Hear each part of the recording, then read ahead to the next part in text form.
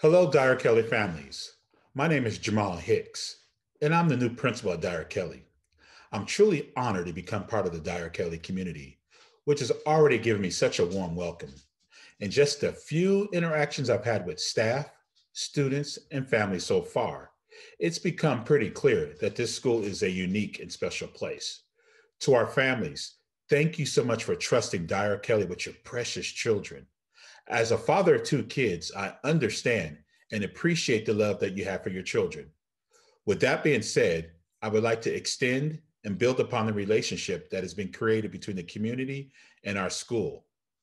I believe that parents, teachers, and administration can cooperate to improve student achievement. Professionally, I've spent 20 years as a classroom teacher.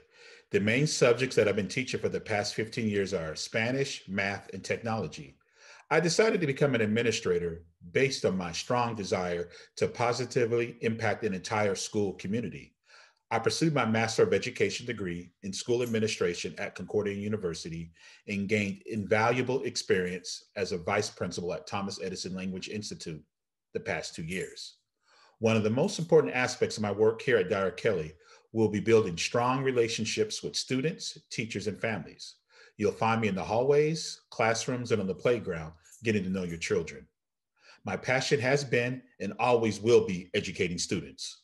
With that in mind, you can expect that I will work diligently with teachers to make sure our students are exposed to curriculum and instruction that is both engaging and challenging. I have an open door policy and welcome your input and ideas. If you see me around campus, just come around and just say hi. Thank you very much.